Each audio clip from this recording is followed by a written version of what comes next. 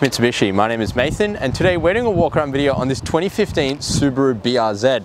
Now in my opinion this is the better counterpart to the 86 but that's just personal preference and a slightly biased opinion because I am a Subaru driver. But what we'll do is run through the condition of the vehicle as well as some of the features that you get in this particular car. Now as you can see you've got that beautiful WRC blue or that uh, 86 blue. It does have those nice white racing stripes down the middle. It's not going to add any extra horsepower or anything but it does give a very nice aesthetic and it definitely looks better than your standard um, just a flat colored 86. Now Subaru badging in the middle, stripes do go around it, quite nicely designed.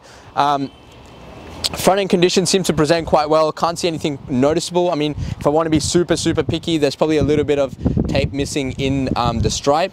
But again, it depends on how picky you want to be about these things. There are uh, daytime running lamps and indicators all and fog lamps sorry fitted at the bottom.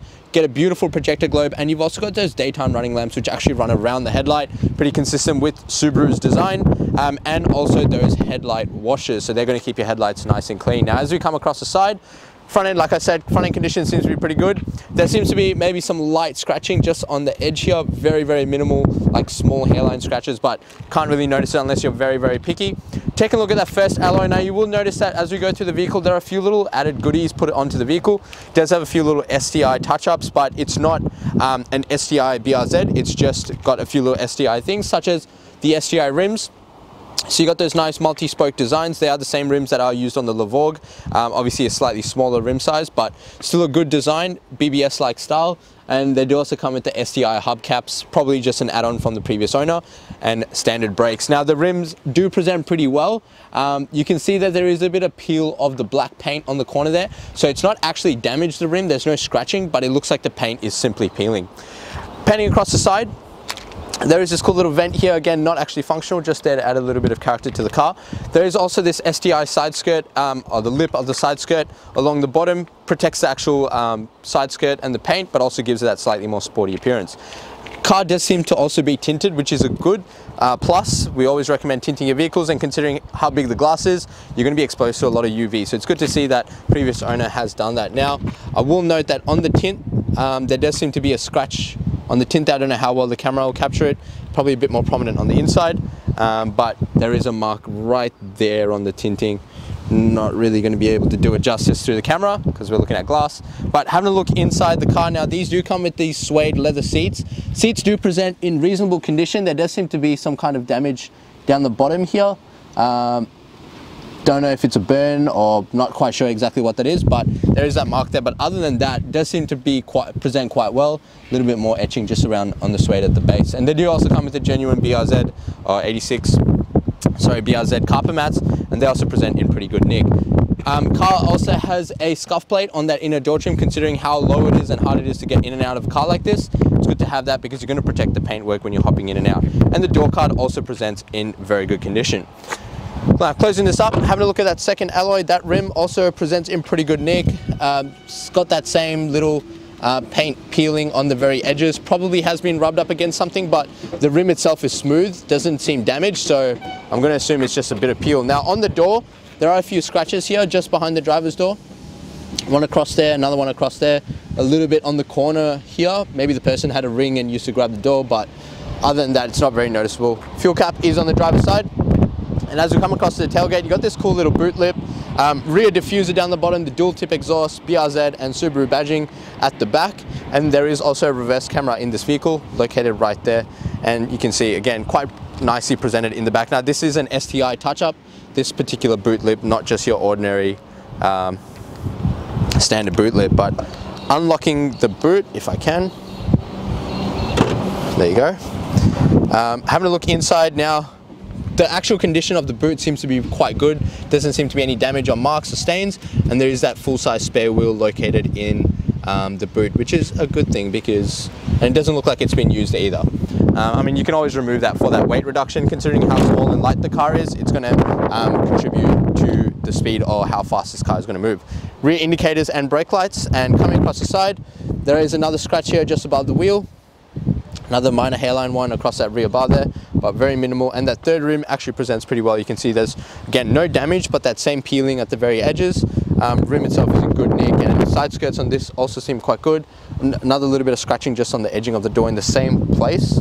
Um, and yeah, you got a pretty nice car. That these fourth and final rims again still got that same kind of peel on the. I don't know why it's peeling, but the the rim itself is not damaged. There's no scratching or doesn't seem uh, to have any signs of gutter rash. So you've got a pretty nice BRZ here.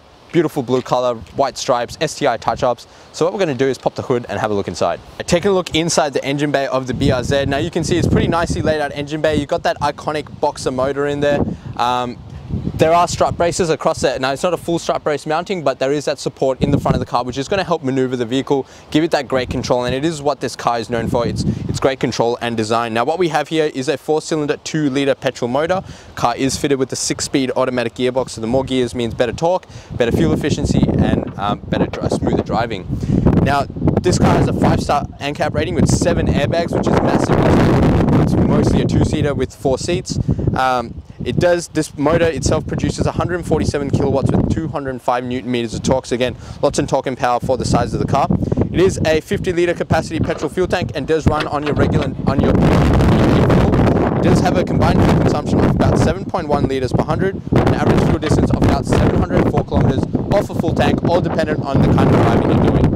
Taking a look inside the BRZ, as you can see, now this also has a few little extra touch-ups and a few little things that the previous owner has added to the vehicle. So got this really nice carbon fiber plates all through the car.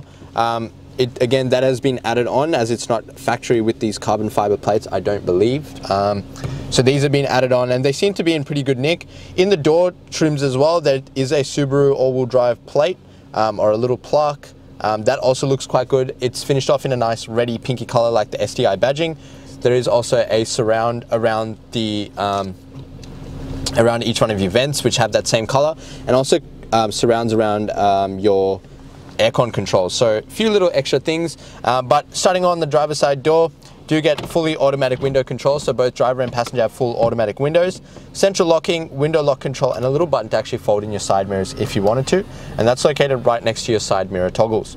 Now on the right hand side of the dash, there is a boot release button and a headlight height adjuster. Yeah, headlight height adjuster, possibly the bright, sorry, brightness for the illumination of the cluster. Um, on the right side of the dash, there's a little auto trip button that is for your trip A, trip B on your odometer. And on the right hand stock is your left and right indicator, fog lamp controls and headlight controls. And these cars actually run a automatic headlight system. Just put it in auto and the car's gonna sense when it needs to turn them on. On the left hand side is your wipers and washers, um, wipers and washers system. And steering wheel is a pretty comfortable steering wheel. There is, there does seem to be a steering wheel um, cover over it. We'll possibly remove that, so don't worry too much about that. Um, but the steering wheel does present quite well. It shows that the previous owner cared about the steering wheel and didn't want it to fade or crack or, you know, all those bad things that can happen. Um, does have paddle shifts. Now we'll come to that in a minute.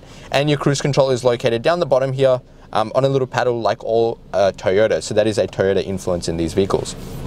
Down the bottom there is a little bit of uh, fading or you know wear and tear marks just on the bottom of that wheel. But other than that, pretty good. Coming over to the entertainment system now, there is a nice Eclipse touchscreen head unit. You can't really see it that clearly at the moment, possibly um, just from the lighting, but it does have inbuilt navigation, so you can see the maps are open there if you can see it. Um, and if I go to audio, that's going to open up your audio settings. You've got AM, FM radio, CD, Bluetooth, and uh, phone connect down the bottom, and AV in info. So a bit of um, stuff on the head unit. You can turn it off and on um, if you wanted to, but I'll go back up. Yep, so AM, FM radio and Bluetooth connectivity.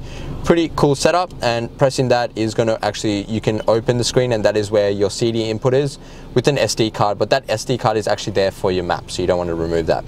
Um, so you got this nice carbon fiber plating on the top here, or it's like a carbon fiber vinyl over the top. Underneath is a carbon fiber plate with a with your hazards, little STI emblem which has been added there that is not uh, from the factory, and uh, time, a clock obviously, and your dual zone climate control, so driver and passenger have their own settings. You can kind of twist it and adjust it. Uh, fr front demister, mode settings, and just an auto button for your aircon. Underneath, you got some cool little like flick switches. So that is for your rear demister. You just flick that down. AC, interior circulation, dual, or to sync up your vents and you can turn it off with that button as well. There's another little Subaru sticker here, a lot of stickers in the car, a bit of rubber plastic at the bottom, rubber and plastic at the bottom of that to stop anything sliding around, blank spot and your engine stop start button which is in that beautiful STI red color.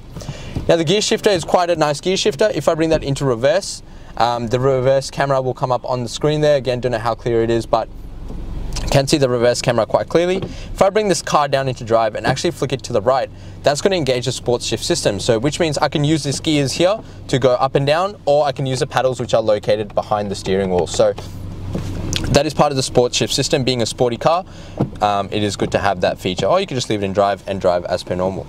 Behind that, there is a stability control button, your sport and snow controls, and a VSC sport button, which is going to turn off your traction control and things like that. Uh, there is heated seats in the car, so a high heat and a low heat, but both heated. Again, there's another nice carbon fiber plate with the STI embroidery. A cool little storage compartment here, which you can actually remove or take out, so you can kind of keep something in there, take it out, whatever you want to do. Storage behind here, and this little console bit can move either way, so you can keep it wherever you want to.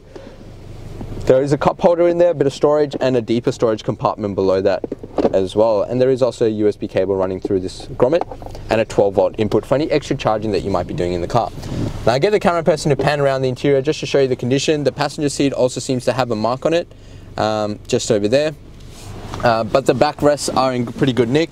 And the back seats, although probably not going to be used at all unless you got a car seat or a little kid or one passenger that sits across the back, um, the seats are in good nick. I mean, they're not damaged. There's no real burn marks or stains on those, which is a good sign. Roof lining is pretty clean apart from like a few little kind of runs probably from something. But other than that, guys, it's it's it's quite a good car. Has a nice little touch up and details on it. So what we're going to do now is jump outside and wrap up the video. To watch the walk around video on this 2015 Subaru BRZ. It is a beautiful car. It does have a few little minor marks here and there nothing too significant. You've got nice little add-ons like your STI little gear and the decals on the interior. It is quite a nice car, but if you do have any additional questions, the number to dial is 99070555. Now just before I go, this car actually qualifies for our premium mechanical protection plan.